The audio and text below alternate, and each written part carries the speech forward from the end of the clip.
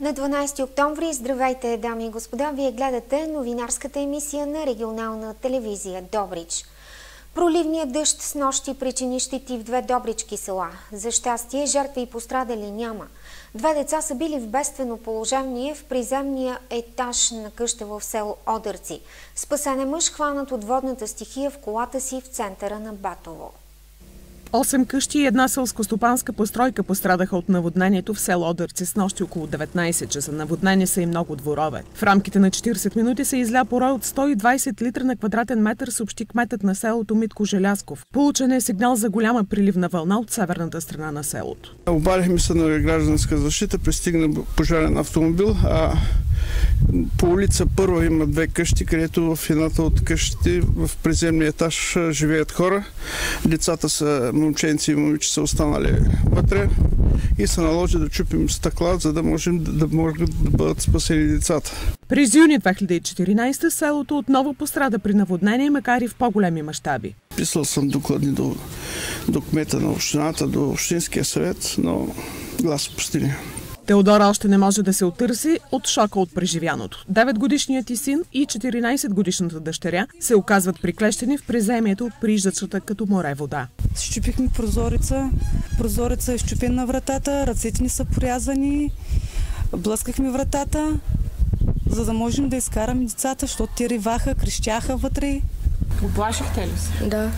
Семейството живее в къщата от 3 години и вече се наводнява за пети път. Цялата покъщина и техника е унищожена, а фамилията е теглила кредит за обновяването й. До сега обещетения не са получавали. Пострадалите в Батово също не вярват някой да им помогне, въпреки че са получили помощ от Междуведомствената комисия по бедствия и аварии преди две години. Станко Николов споделя, че е взел само 300 лева. Вчерашното наводнение обезмисля ремонта, който се опитва да направи у дома си. С страх живеем, аз последното наводнение два дена не можем, не можем да излезем от къщи, че и с въжена прекараха, с въжена изкараха. Нощи газихме до 11-12 часа вода, животните да спасим и това е положението. Не знам как ще се спасим. Тежко е, тежко е.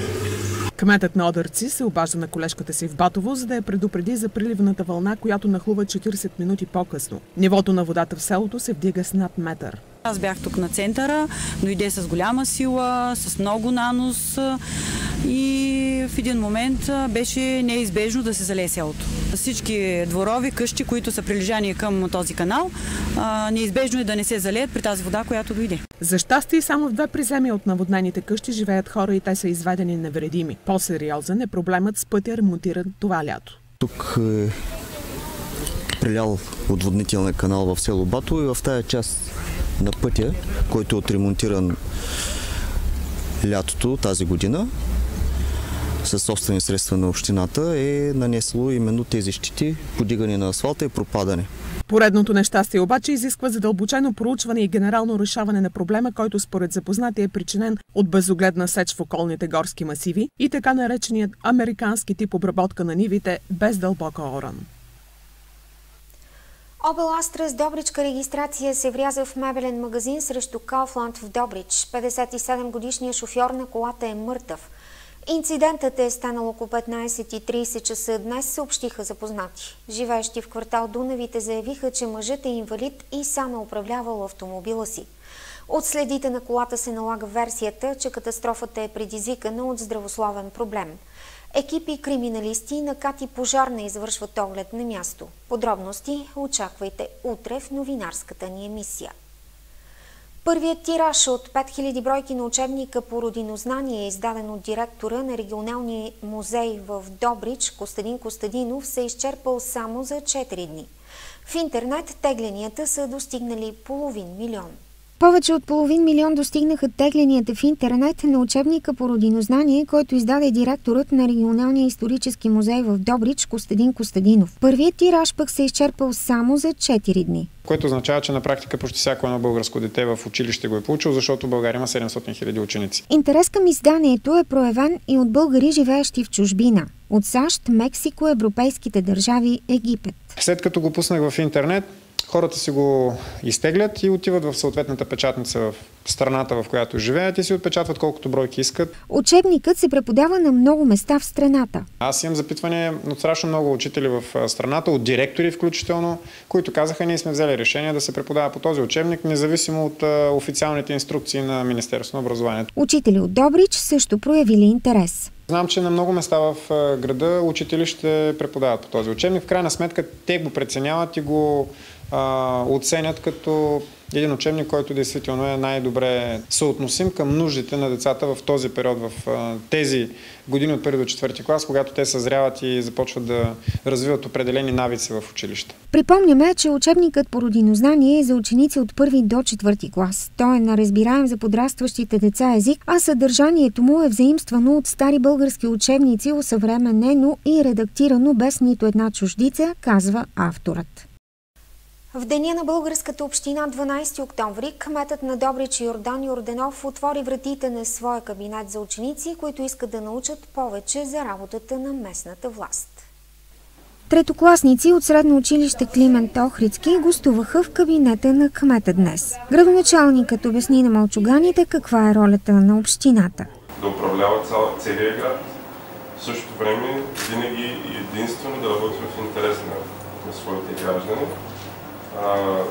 общината трябва да развива града, трябва да позиционира места, където вие може да играете, където вие може да се развивате, да ви дава една хубава среда. Учениците имаха възможност да задават въпроси към кмета. Какво правите по целия ден? Денят е много динамичен, по принцип, и специално при мен. Много срещи с различни хора, хора от граждани, от бизнеса, гости на града. Децата получиха светлоотразителни усмивки, които да закачат на раничките си, за да ги виждат водачите и да ги пазят, защото вие сте най-важното нещо за нас, заяви още кмета на Добрич. Цветя бяха поднесени днес на паметната плоча Барелев на първия кмет на Добрич след освобождението от османско робство Стефан Баев. Повече вижте в следващия репортаж. С химна на България и този на община Добрич започна празника, посветен на Деня на общината. Събитието се състоя пред барелефа на първия кмет на Добрич след освобождението от османско робство Стефан Баев. Третокласници от средно училище Климент Тохрицки поздравиха общинските служители. Здраве, сила и мъдрост! Бъдете точни в решенията, твърди в тяхното отстояване и непримирими в разрешаването им. Работете неуморно за просперитета на нашия прекрасен град. Децата подариха картина на кмета на града.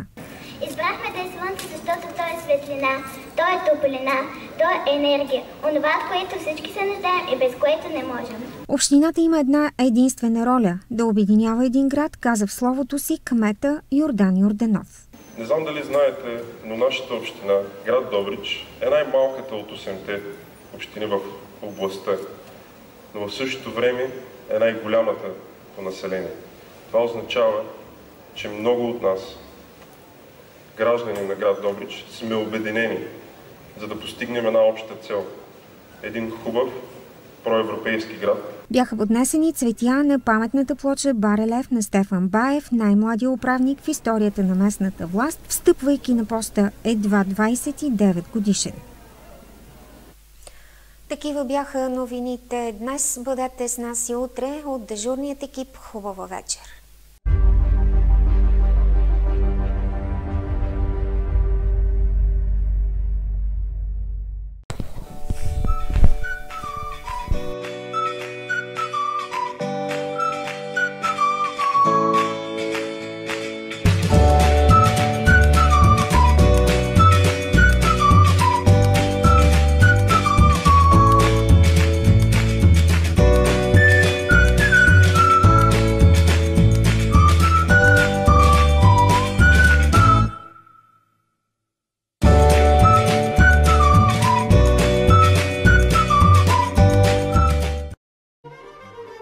Насладете се на добра храна с здравословното меню на гостилница Стария Добрич. Фалафели с 9 подправки само за 6,40, ориз басмати с пресни зеленчуци само за 5,80. Салатата боле и пърленка от пресен лимец. Опитайте нудъл с пресни гъби и солено ласи, а за десерт сурови бомбони от форми или ядки. Всички продукти се приготвят от свежи плодове, като при термичната обработка се използва масло хи или зехтин и се подправят с хималайска сол. Хранете се здравословно в автентичната обстановка на Стария град. Гостилница Стария Добрич, добрата кухня.